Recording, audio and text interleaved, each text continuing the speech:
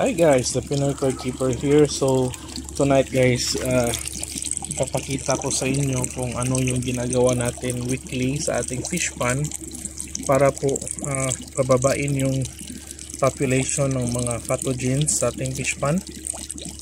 Yung pathogens guys is yun po yung mga infectious bacteria, viruses, fungus, at iba pa na nagkukos po ng sakit sa mga koi natin guys. At saka po normal po yun. Lahat po ng fish pan ay meron po talagang mga pathogens guys. Uh, nag-aabang lang po yan sila na mag magkaroon ng isang coin na yung weak po yung defense mechanism nila dahil po sa stress. Kaya po uh, pag mataas yung ammonia tapos sa stress yung mga coin natin uh, nagkakasakit po talaga sila guys. So yung CFU, yung total number of bacteria po sa pan natin is dapat uh, as much as possible is controlled po talaga kasi if konti lang po yung population or zero to konti lang mas talagang maganda po yung tubig natin.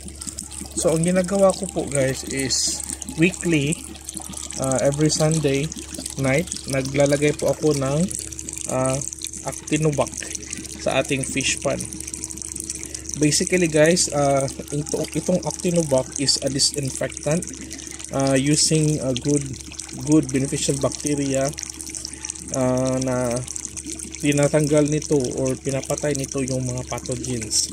Uh, as you can see auto fixer meaning to say pag mabaho yung pan ninyo mawawala yung baho guys. Tsaka non-toxic po okay? At saka non-chemically synthesized non-genetically engineered, non-pathogenic compound. So, meaning to say, ang mga bacteria, yung mga good bacteria na nasa Actinovac is safe lang po guys. And then,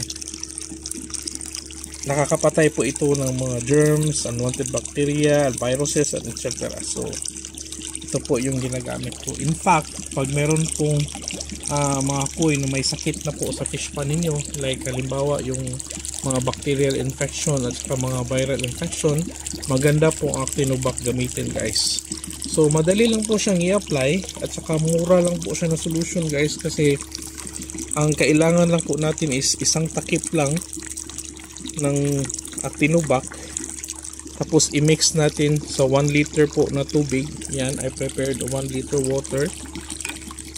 Tapos i-shake mo lang at saka i-apply mo po sa fish pan. Yan. Isang takip lang. And this is already good for 1 ton 1 ton na fish pan. And syempre we apply it at night guys. Kasi po yung mga beneficial bacteria o yung mga good bacteria guys sa Tinovac is talaga mga light sensitive po sila guys. So they don't grow fast pag merong ilaw. Mas preferred po nila yung uh, dark area. So isa-shake po natin but I'm doing the shaking away from the light para at least uh, safe lang po yung bacteria natin or yung mga beneficial bacteria po sa Tinovac at pagkatapos ko pong ma-shake I'm going to open it. And then I'm going to apply it sa pan. Very easy lang po. Ganyan lang.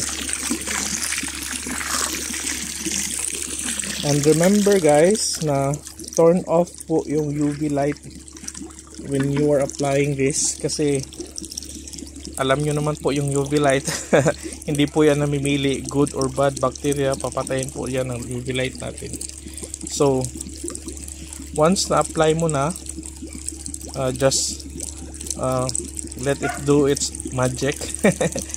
And then it will eventually lower or kill totally the population of the pathogens sa fish pan natin. And it will make our pan uh, safe for our koi.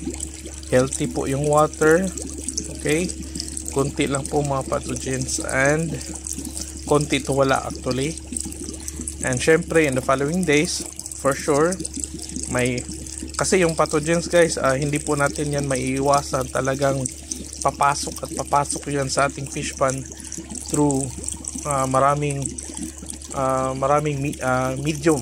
Like halimbawa yung mga poop ng ibon. Dito sa akin guys is open kasi ito. At saka marami pong mga paniki dito guys. So usually makikita ko every morning may mga poop talaga ng paniki sa aking mga fish pan. At saka marami pang iba. So better be safe than sorry. And proven po talaga yung Actinobak guys. It's really it's really uh, created by uh, brilliant minded scientists na mga Pinoy's din. And careful po kayo guys kasi marami ngayon ang nagbebenta ng mga mga ganitong product din. But yung pinaglalagyan is mga transparent na mga buti. If if na notice nyo na transparent po yung buti guys it means hindi po yung totoo kasi most probably yung population ng mga probiotics doon is already in a very low low uh, number na talaga. Kasi as I've said earlier kahit i-research nyo pa po yan yung mga lactobacillus yung mga mga any probiotic po ng mga ng mga bacteria is most likely mga light sensitive po sila. So yan po. So yan po yung isa sa mga uh, ginagawa natin to maintain a healthy pan. We use Actinovac yan po Actinovac and it's a very very very cheap uh, solution guys. Uh, remember prevention is better than cure. Yan po. Thank you